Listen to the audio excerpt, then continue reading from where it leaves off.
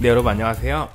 어제 라이브 보신 분들은 아시겠지만 리치코젠 이제 콘서트를 다녀왔습니다. 그래서 후기를 좀 남겨보면서 여러분들하고 후기를 좀 나눠볼까 하는데 네, 공연은 잘 보고 왔습니다. 제가 언제였죠? 지난 2월이었나? 이제 그 빌리 시언이랑 마이크 포트노이랑 리치코젠이 하는 그 Winery Dogs라는 밴드가 있어요. 그래서 그 세 명의 특징이 제가 너무 좋아하는 기타리스트, 제가 너무 좋아하는 베이시스트, 너무 좋아하는 드러머 이렇게 구성이 된 팀이었어 갖고 이제 와이너리 독스를 너무 좋아했어요. 그래갖고 그때 달라스에 왔을 때 티켓을 사, 사놨었는데 무슨 염증이 걸려갖고 그때 너무 아파서요. 고열에 막 난리도 아니었습니다. 그래서 그때 공연을 못 갔어요. 그때 티켓도 그냥 날리고 그랬는데 그래서 이번에 이제 달라스에 온다 해갖고 이제 티켓을 사서 갔습니다.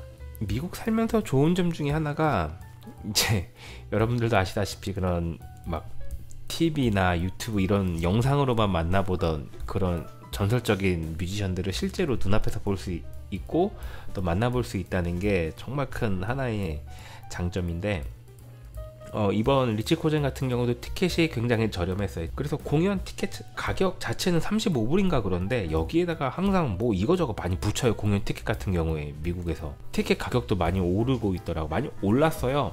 그래서 드림 티어러 같은 경우는 제가 몇 년 전에 마지막 공연 보러 갔다 올 때만 해도 그때가 아마 코로나 전이었던 것 같아요. 코로나 직전이었나 그랬는데 그때 꽤 괜찮은 한 중간 정도 되는 꽤 괜찮은 자리를 그때 100불이 안 하는 가격으로 갔다 왔거든요. 그때 70불인가 갔다 왔었는데 지금은 어, 드림 시어터 달라스에 오는 공연 가격을 보니까 아, 못해도 괜찮은 자리에서 보려면 한 200불 이렇게 줘야 되더라고요. 어쨌든 그래도 티켓 가격이 꽤 많이 올랐는데도 이 제가 가끔 가는 이 공연장 같은 경우는 아직까지는 뭐 그래도 이 정도면은 돈 주고 갈만한 가격을 형성하고 있었습니다. 그래서 리치 코젠 같은 경우는 한국에서 인지도가 어떤지 모르겠어요.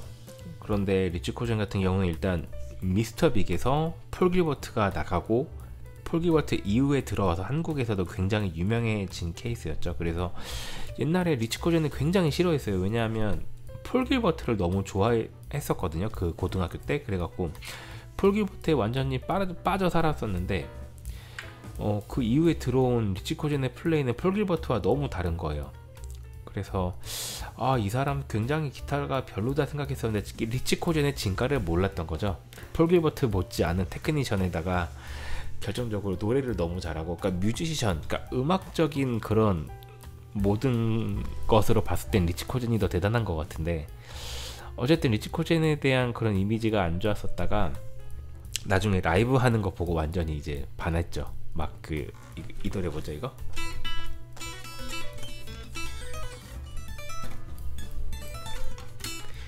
이거 막 스위피팅으로 치고 막 그런 거 보고 그다음에 그 디퍼플의 번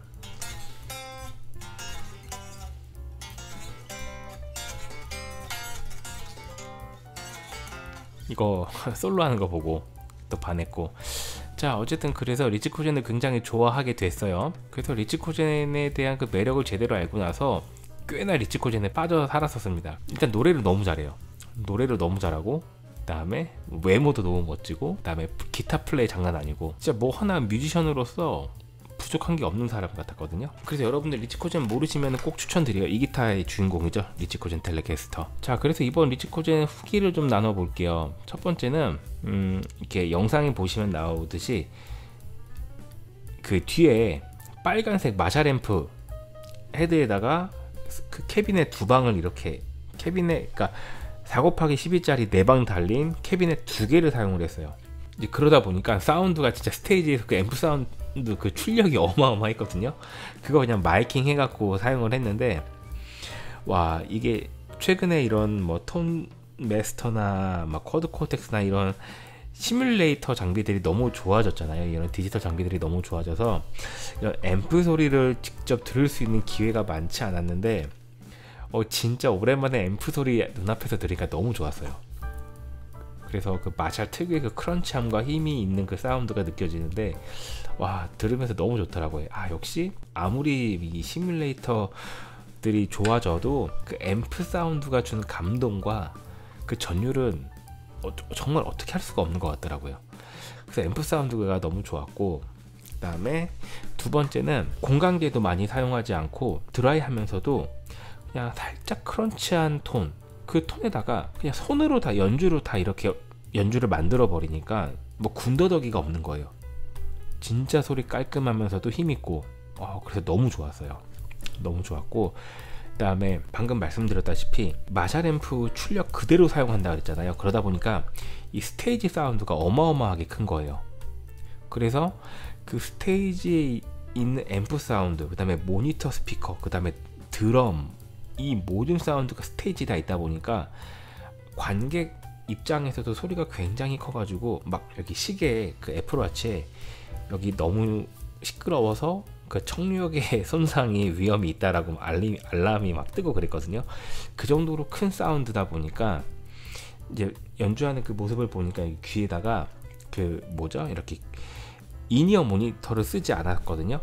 그래서 그 이렇게 비행기에서 나눠주는 귀마개 있잖아요. 이렇게 스폰지처럼 생긴 거 그걸로 귀를 막고 공연을 하더라고요.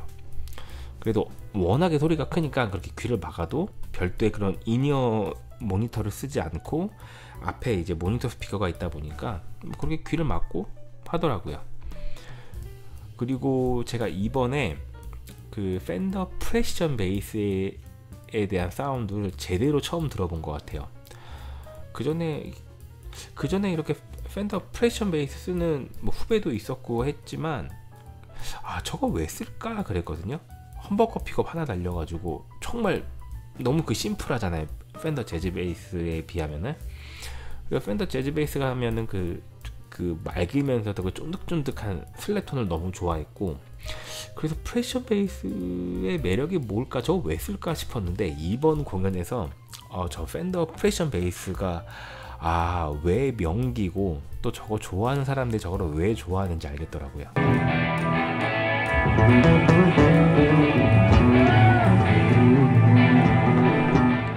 humbucker 픽업이 달려 있고 그다음에 그 Aguilar 베이스 앰프를 쓴 것 같았어요. 그냥 자체에서 다른 effector를 쓰지 않았는데도 약간 그 드라이브가 걸린 듯한 사운드가 나더라고요. 그런데 그 자연스러운 그 드라이브 사운드에다가 굉장히 묵직했어요 사운드가. 정말 무슨 바위 같은 소리라고 해야 되나? 그런 톤이다 보니까 와 이게 진짜 사운드가 압권인 게 트리오였거든요. 리치 코젠 기타 그다음에 베이스 드럼 이렇게 세 명이었는데 와 이 베이스가 채워주는 공간감이랑 그러니까 사운드에 빈 곳이 없는 거예요. 정말 그 사운드가 꽉 차게 잡아주는 그러니까 베이스 사운드가 너무 힘이 있다 보니까 와 이 공간을 그 꽉 채워주는 사운드가 정말 압권이더라고요. 어 그래서 어 Fender Precision 베이스가 빈티지였어요. 빈티지 old 빈티지였는데 정말 좋았습니다. 뭐 베이스 플레이어가 너무 잘하는 것도 있었지만 오 너무 좋더라고요. 그리고 어, 리치 코젠 보컬이 그러니까 노래하는 실력이 진짜 어마어마한 게 리치 코젠도 많이 늙었거든요. 여러분들 최근에 미스터빅 공연 보신 적 있는지 모르겠는데 에릭 마틴도 너무 늙었어요. 너무 늙었기 때문에 그래도 막 못 들어주겠다 이 정도까지는 아니었거든요. 최근에 이제 나이 많이 든 락 보컬들 들어보면은 아, 좀 막 듣기 힘든 막 그런 분들이 조금 있어요. 누구라고 얘기는 안 하겠지만 그 드모 밴드의 예, 그 드모 밴드 공연을 갔다 오면은 어, 연주가 너무 대단하잖아요. 그래서 그 보컬 나올 때는 귀가 썩는 것 같고 그리고 보컬이 이제 연주가 기니까 보컬이 들어가잖아요. 그러면 연주 들으면서 귀 청소가 되고 귀가 청소가 되고 힐링이 되고 다시 그 보컬이 나오면은 다시 또 귀에서 막 피가 나요. 네. 그러다 또 그 사람 들어가고 연주 또 막 하면은 힐링 받고 하여튼 뭐 그런데 어 리치 코제는요 이 보컬에서 이 나이 든 나이가 들어서 그 노래를 노래 실력이 떨어지고 이런 게 전혀 없었어요. 그래서 감성도 여전히 충만하고 어, 노래 너무 잘해요. 그러면서 들으면서 와 진짜 노래 너무 잘한다. 그리고 이 노래를 못해서 안타까운 그런 마음이 전혀 들지 않는 그런 진짜 완벽한 보컬이었습니다. 저 사람은 그냥 기타 안 치고 보컬만 해도 될 정도로 지금은 에릭 마틴보다 노래 더 잘하는 것 같아요. 그 미스터 빅의 메인 보컬 있죠? 에릭 마틴보다 노래 더 잘하는 것 같아요, 진짜. 그리고 아 대부분의 노래가 어, 옛날 노래는 거의 없고 최신곡 위주로 하다 보니까 조금 재미없었어요. 왜냐면 아는 노래가 별로 없어 거의 없었어가지고 그, 그렇지만 이, 일단 노래 너무 잘하고 그다음에 밴드 뭐 전체들도 전체 멤버들도 연주 너무 잘하고 그다음에 리치코젠 플레이를 볼 수 있었고 일단 그리고 노래 너무 잘하니까 뭐 전혀 방해되는 것도 없고 그냥 공연 보, 모르는 곡이지만 너무 좋았어요.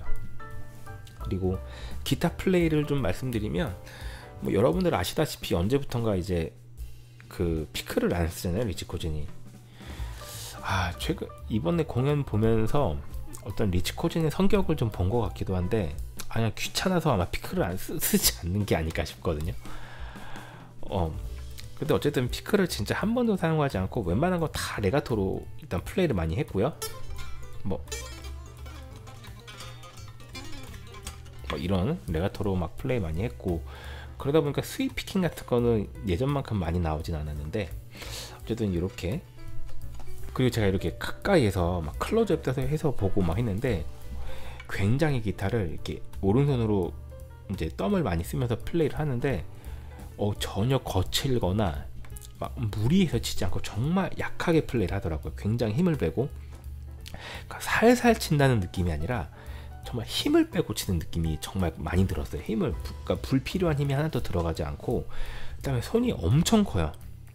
그러다 손이 엄청 크다 보니까 이렇게 웬만한 그러니까 피크를 쓰지 않더라도 웬만한 이 기타의 그 연주하지 않는 줄들을 잘 뮤트를 하고 있어서 그런 잡소리가 일체 나지 않고요.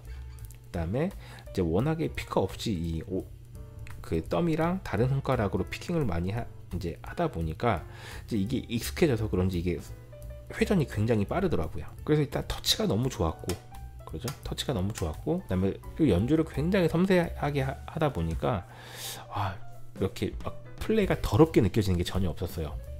정말 깔끔하게 그리고 밴드 사운드랑도 너무 잘, 잘 어울리고, 네, 그래서 기타 플레이도 아, 참 보는 맛이 있구나. 리즈쿠젠 플레이를 볼 수 있다는 것만으로도 아, 진짜 기분 좋다. 막 그런 느낌을 많이 받았어요. 그래서 기타 플레이는 아, 저렇게 유튜브 막 이런 영상으로만 보다가 어, 실제 정말 바로 그 눈앞에서 보니까 아, 너무 좋았어요. 아, 정말 잘 치는구나. 뭐. 그럼 말할 것도 없고 그 섬세한 터치가 얼마나 멋진 건지 이번에 또 이 사람을 보면서 느꼈습니다. 아, 그리고 마지막으로 안타까웠던 점이 뭐였냐면 아, 이 팬 서비스가 별로였어요. 아, 리치 코젠한테 좀 실망한 부분인데 어, 제가 이제 공연을 몇 번 다녀봤잖아요. 미국에 살면서 또 이제 미국 현장의 분위기가 어떤지 공연장의 분위기가 어떤지 알기 때문에 이제 공연장 뒤로 가면은 이렇게 좀 기다리다 보면은 이제 기타에다 사인, 사인 받을 수 있는 기회도 생기고 같이 사진도 찍어주고 뭐 대화도 좀 할 수 있고 막 이런 기회들이 좀 있어요. 그래서 그걸 알았기 때문에 이제 항상 공연이 끝나면은 이제 뒤에 가서 좀 분위기 보고 만날 수 있겠다 싶으면 이제 만나서 얘기도 해보고 사진도 찍고 막 그러고 사인도 받고 막 그런 경험들이 있는데 음 이제 뮤지션들도 사람이다 보니까 성격들이 있어요. 그래서 굉장히 이 팬들을 소중하게 생각하고 그런 성품이 착한 사람들 같은 경우는 달라요. 일단 예를 들어 볼게요. 제가 인상 깊었던 사람들 조한 페트루치, 드림지어라의 조한 페트루치, 그다음에 에릭 존슨, 그 다음에 또 누구 있었지? 아 그렉 하우도 그렇고 폴 길버트도 그래요. 이, 이 사람들은 어, 정말 사람이 너무 좋다라는 게 느껴지는 게 어떤 팬을 만났을 때 말도 잘 들어주고 그다음에 먼저 뭐 이거 궁금한 거 내가 뭐 한국에서 왔다고 하면은 뭐 한국 가봤다 뭐 이런 한국 이야기도 하고 그다음에 뭐 사진 찍어달라 기타에 사인해달라 하면은 다 해줘요 존 페트루치는 막 제 핸드폰에도 해주고 제 존스에도 해주고 사진도 막 세 번이나 찍어주고 막 그다음에 그 뭐죠? 종이에다가도 해주고 그때 존 페트루치는 제가 사인을 4개인가 그때 받아왔어요. 그래서 막 나눠주기도 하고 막 그랬는데 폴 길버트 같은 경우도 막 제 노트에다 해주고 저 고등학교 때 기타에도 해주고 에릭 존슨도 제 Fender 기타에다가 사인해주고 뭐 한국 얘기도 하고 사진도 찍어주고 막 음, 뭐 그레카우도 이번에 영상 보셨듯이 뭐 그레카우도 제 깁슨 레스볼에 사인해 준 거 있었죠. 네, 근데 그 사람들 같은 경우는 다 만나고 이렇게 시간을 보내는데 리치코젠 같은 경우는 일단 첫 번째로 실망했던 게 뭐였냐면 공연이 딱 끝났는데 사람들이 막 이제 앵콜 기다리고 보통 그러면 이제 나와서 한 곡 더 하고 하는데 어 그냥 공연이 딱 끝나자마자 공연이 딱 끝났죠? 그러면은 보통 뭐 이렇게 고맙다고 막 이렇게 인사도 하고 뭐 관객들이랑 뭐 이렇게 손도 이렇게 뭐 터치도 하고 막 이러는데 어 진짜 공연 딱 끝나자마자 그냥 멤버끼리 손잡고 인사하고 들어가서 끝이었어요. 그게 이런 거 처음 봤거든요. 보통 그 정도까지는 아닌데 어 잉베이도 이 정도는 아니었는데 왜냐면 잉베이 맘스텐 같은 경우도 팬 서비스가 좋지 않은 걸로 유명해가지고 근데 어쨌든 그렇게 딱 들어가 버리 그러니까 딱 들어가고 사람들이 기다리는데 바로 악기를 치우더라고요. 그래서 사람들이 아 앵콜 없나 보다 하고 이제 막 다 나갔어요. 그래서 저는 나가갖고 이제 기타 제가 이거 혹시 몰라서 사인을 받을 수 있을까 해서 이제 기타를 가지고 갔었거든요. 그래갖고 갔는데 어 이제 그 뒤에 이제 대기실로 가는 문이 있고 그다음에 투어 버스가 이렇게 있는데 이제 거기 이제 경호하는 사람들 이제 스탭들이 있어요. 지키는 스탭들이 있는데 저는 항상 좀 뭐 안 되면 그만 뭐 되면 좋은 거고 이런 게 좀 있어서 그래서 물어봤어요. 혹시 여기서 좀 기다리면 기타에 사인 하나만 좀 받아갈 수 있을까 물어봤더니 사실 지금 끝나자마자 바로 투어버스로 들어갔대요. 보통 이런 것도 얘기 안 해준다 그러는데 혹시 사인 받고 싶으면 그럼 투어버스 앞에 가서 그 버스 앞에 가서 기다리라고 얘기를 하는 거예요. 그리고 와 그냥 바로 들어갔구나. 근데 이제 그 사람이 그러는 거예요 이미 버스로 들어갔는데 잠깐 뭐 이렇게 나왔다 들어갈지도 모르니까 거기서 기다려봐. 근데 이미 VIP 티켓이라는 게 있거든요. 그걸 통해서 사인회 같은 게 있었대요. 여러분들 VIP 티켓이 뭐냐면 아 이거 언제부턴가 좀 이런 게 생겼는데 원래 없었거든요. 근데 이 VIP 티켓이라는 게 이제 일반 티켓이 아니고 그러니까 공연 티켓이 포함된 게 아니에요. 어떤 뭐 그게 공연 티켓까지 포함된 것도 있는데 이제 뮤지션들이 사인회 같은 거를 이제 돈 받고 하는 거예요. 그래서 그 VIP 티켓이 있으면 그냥 어디까지나 그냥 그 티켓 가지고 가면은 그 사람한테 이제 사인 받고 같이 사진 찍어주고 근데 이게 가격이 생각보다 상당히 비싸요. 지난번 스티브 바이 같은 경우는 400불이 넘었었나 그래요.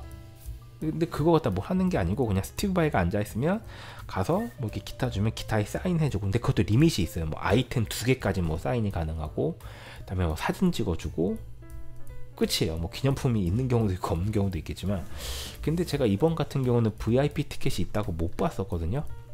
그런데 이제 그 VIP 티켓을 가진 사람들과 차별 차별성 같은 걸 두기 위해서 그런지 모르겠지만 어쨌든 그렇게 투어 버스에 들어갔다고 얘기를 했고 근데 아마 사인 안 해줄지도 몰라 그 VIP 티켓 때문에 뭐 그런 얘기를 막 하더라고요. 그래서 이제 거기 버스 앞에서 기다리고 있었는데 이제 역시나 저 같은 이제 그런 매니아들이 이렇게 좀 왔어요. 기타 갖고 있는 사람은 저밖에 없었고 그리고 사, 그리고 사람도 생각보다 많이 안 오기도 했어요.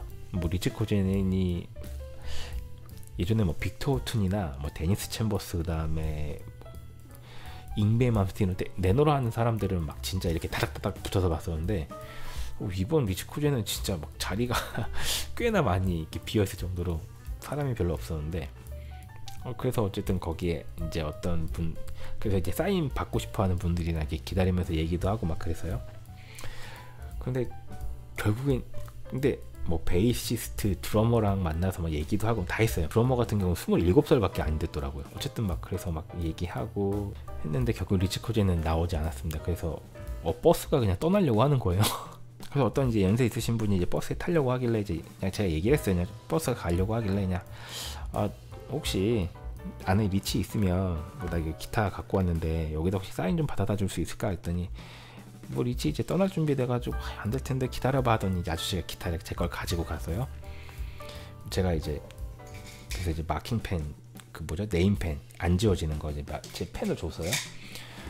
줬더니 사인을 제가 그래서 여기다 해달라 그랬거든요. 사인을 어디다 해줄까 그랬더니 제가 버스에 들어간 건 아니에요. 이제 그 사람이 받아다 주겠다 그래가지고 그랬더니 이제 제가 여기다 받아달라 그랬어요 여기다가. 그랬더니 여기다 이렇게 사인을 해준 거예요 뒤에다가. 근데 딱 사인 보고 아 뭔가 사인 되게 하기 싫었나 보다. 그런 느낌이 들었거든요. 보여드릴게요.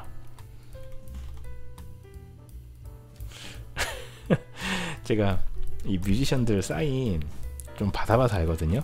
뭐 에릭 존슨이나 존 페트루치 같은 경우 그다음에 제니퍼 배튼 사인도 있는데 정성스럽게 해주는 사람들의 사인은 사인이 진짜 그 시그네처 기타에 들어가는 사인들하고도 굉장히 비슷하고 그런 게 좀 있거든요. 그러니까 이게 대충 해준 사인이 아니구나 딱 봐도 느껴져요. 근데 딱 와, 진짜 사인 되게 하기 싫었나 보다 그런 생각이 들었습니다. 잉베이 맘스틴도 그래요. 잉베이 맘스틴 사인도 예, 보면은 보통 되게 예, 되게 어접하거든요.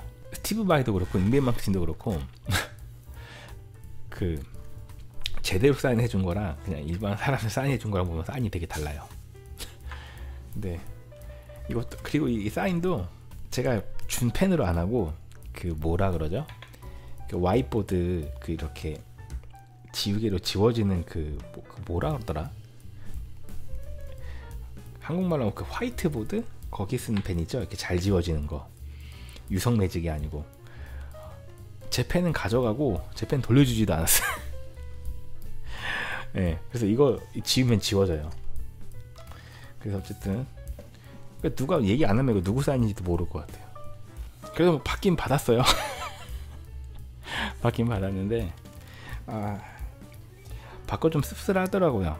왜 그랬냐면 어, 밖에서 이렇게 그래도 기다리는 팬들이 좀 있었는데 한번 얼굴을 비춰줄 만도 한데 그렇게 한 번도 버스에서 나오지 않고 이렇게 떠나는 거 보고 그리고 마지막 투어 마지막이었거든요. 우리 달라스가 투어 마지막이었는데 보통은 이렇게 공연이 딱 끝나면 이제 관객들 뒤로 이제 관객들을 뒤로 배경으로 두고 이렇게 팀 멤버들끼리 이렇게 뭐 사진도 찍고 막 그래요. 근데 뭐 그런 것도 없었고 뭐 팬들 기다리는데 그리고 제 옆에서 같이 기다리던 어떤 아저씨가 그 사람 옛날부터 완전 그 리치 코젠 데뷔 때부터 지금까지 막 CD를 다 갖고 있고 막 그런 완전 매니아 팬이었어요.